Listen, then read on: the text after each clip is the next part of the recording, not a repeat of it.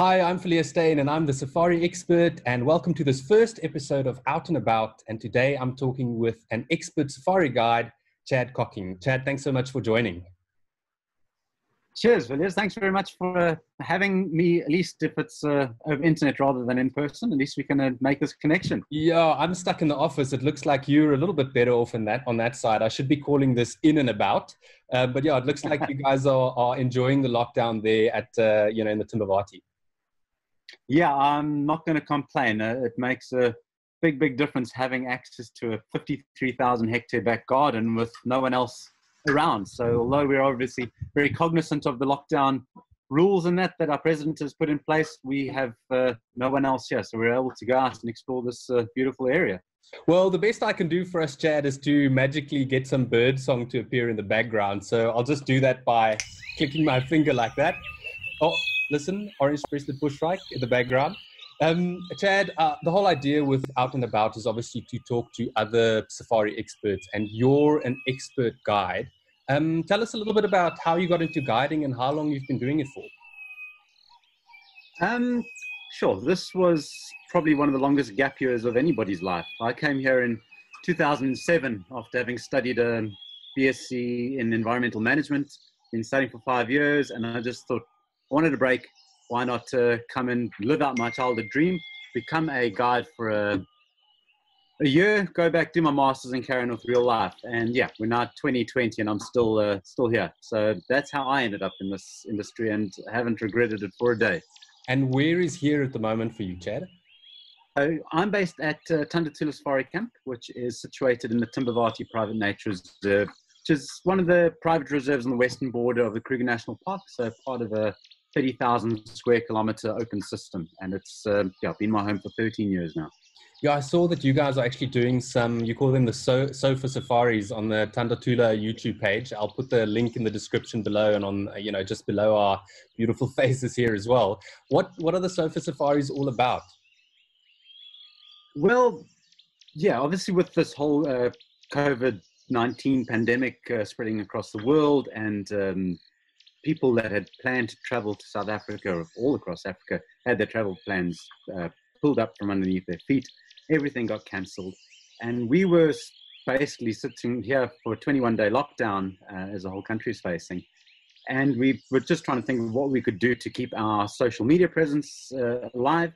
And we've got a couple of photographers and videographers in the camera. We thought, why don't we just go out there on a daily basis um, and go film what we film. Uh, try to do these virtual kind of game drives. It's not quite the, the live safaris that um, Safari Live is able to produce, but we're able to, on an almost daily basis, give people a 20 minute, half an hour video clip of what we're going out and seeing.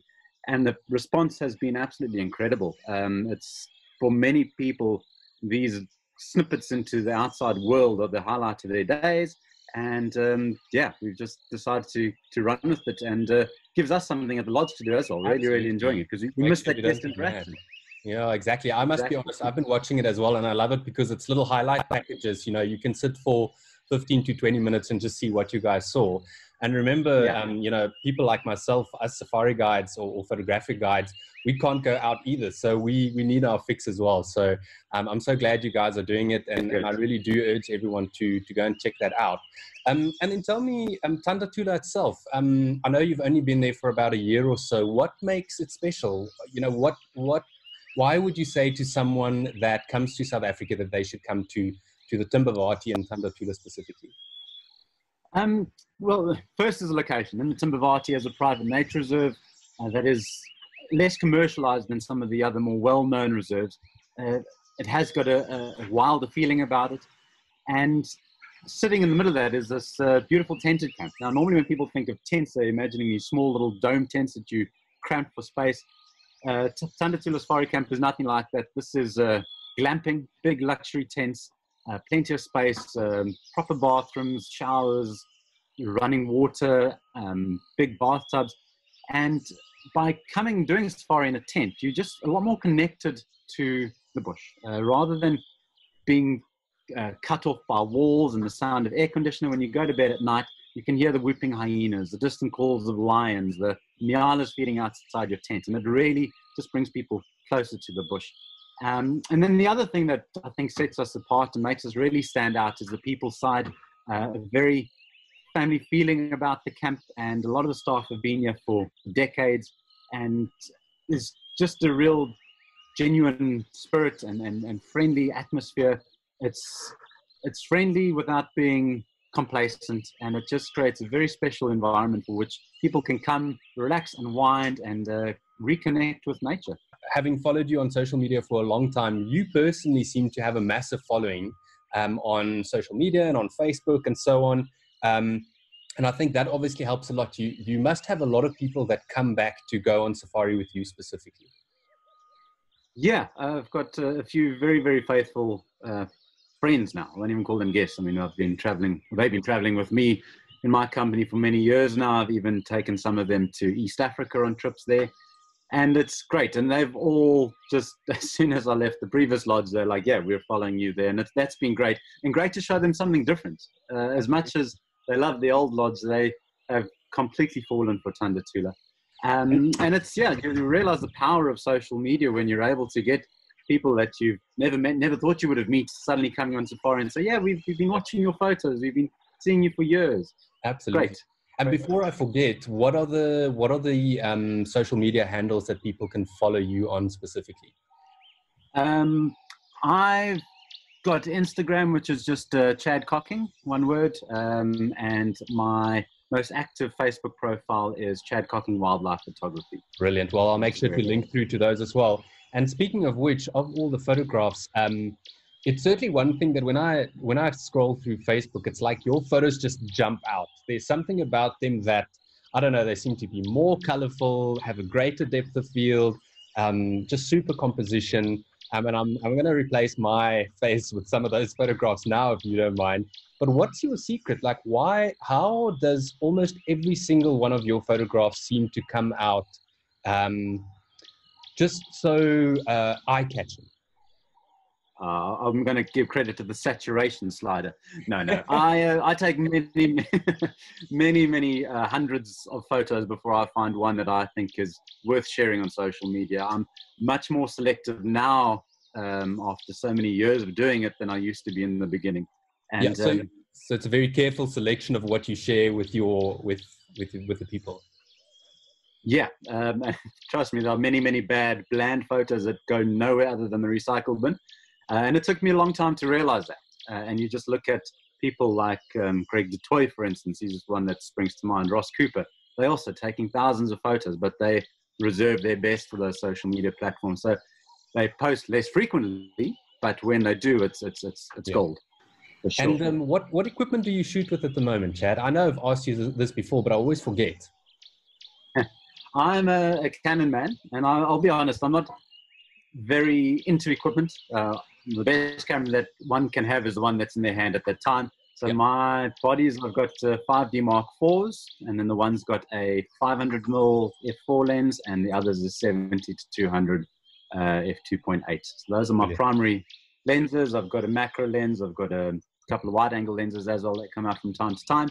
But yeah, my primary lens that I photograph with, and that most, well, probably 90, 95% of my images posted online comes from my uh, 500 mm. Brilliant. And um, to put you on the spot just a little bit, is there a specific photo that you've taken over the years as a guide that really stands out that you would say is your favorite photograph? Oh, you're not going to get any prizes for guessing this one. I don't know if it's my favorite, but it's definitely the most standout photo, and you're yeah. probably all looking at it now. Yeah, the white and tawny lion drinking next to each other. Um, and I. Is it that one? surprise, surprise. Tell us a little bit more about that photo, Chad, because I'm sure a lot of people would have seen it on social media, but maybe they don't really know the story behind it. Yeah, um, that was sure. Uh, the Timbavati in general has probably been over the years most well known for its uh, um, the odd occurrence of white lions. Now, these are not albinos, it's just lions that uh, carry a recessive gene that seems to be far more prevalent in this area than other places at the moment. Presently, there's only three known wild white lions in the world roaming around, one in Kruger and two, oh, I guess still in Kruger on the and beyond the Ngala concession. Yeah. But anyway, uh, back in 2010, uh, we had a pride with the two white sisters that were living within our concession. And I was actually visiting on holiday. This was during the year that I was doing my master's degree. The Lions had had a giraffe kill. They'd walked three kilometers to a water hole and stopped 100 meters short. So we went in the afternoon with the plan of getting the pride coming to drink, and they just slept through. Oh well, opportunity missed. The next morning, they were still sleeping in the same location. So I said to my friend, we've got to get there at sunset because they're going to wake up and go and drink. And as we pulled up to the water hole, uh, without even, we stopped to look at a hyena. And literally a minute later, the tawny and uh, white lion popped up over the dam wall. And they went and they lay side by side having a drink. We didn't even have to reposition our car. Yeah, Just picked up my camera, clicked away. And my friend that was uh, guiding me said, Chad, I'd love a copy of those photos when you're done. And I very arrogantly said, Don't worry, you're going to be seeing these in magazines all over the world. And uh, yeah, I just knew what a rare sighting it was. Uh, and just they, they did all the work. They were just so symmetrical, tongues out together it was one of the only times I've clicked a photo known that I'd really captured something. It's unique. a sort of it's a sort of photographs that does as wildlife photographers. We dream about, you know, you exactly. you fantasize about it when you drive around, but uh, to actually have it happening and getting all the settings right and the symmetry and all that sort of stuff, it's uh, yeah, it's almost a life changing moment. um, Chad, and then just lastly, what's your what's your feeling with this whole? I don't really want to go on too much about the coronavirus, but um, obviously it's impacting all of us in the safari industry quite um, drastically. What do you think is going to happen over the next few months? Do you guys um, think, you know, we obviously set to, to finish lockdown in South Africa end of next week. We may obviously be locked down a little bit longer, but it's going to take a while for guests to come back. So, um, do you think your sofa safaris might be something, or this sort of uh, uh, uh, safaris without guests is something that might go on a little bit longer? Uh, yeah, we've been discussing that, and it's you know, as long as we don't have guests, we're going to be out there bringing this to them so that when the travel bans are lifted, when people are confident enough to travel again, they're going to have this yearning to actually come Brilliant. to Africa, come to South Africa, and hopefully come visit us here at Tanda Tula and experience in person what they've been seeing on uh, on the internet. Um, you know, it is this is going to pass. Uh, how long it's going to take, we don't know, but we just uh, are making sure that at Tula we are ready. That once everything uh, is good to go, so are we, and the guests are welcome to come join us, and uh, we will uh, carry on. Maybe not quite as it used to be, but uh, as best we can. But until such a time, yeah, please make sure you sit and enjoy our sofa safaris. Send us requests, send us questions, and let's see how interactive we can get with this thing. Brilliant. Well, Chad, it's amazing that you guys are doing it. Um, and thank you so much for taking the time to chat to me. I really, really appreciate it. And I look forward to seeing those little leopard cubs and hopefully the cheetahs again and all the things that you guys have been seeing on the sofa safaris. And um, yeah, just enjoy the photography and good luck with the rest of the lockdown. Cheers, Villiers. I really appreciate you giving me the time to sit and chat to you. And uh, yeah, uh, best wishes to you and your family that side. Uh, yeah, only a couple more weeks. Uh, so stay positive and uh, we'll catch you on the other side.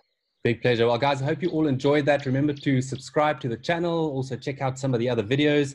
And I'll keep on doing the out and about section. And hopefully, in the future, I'll be able to actually go out and about when I interview people in the bush itself. But for now, we're going to be stuck right here in the office.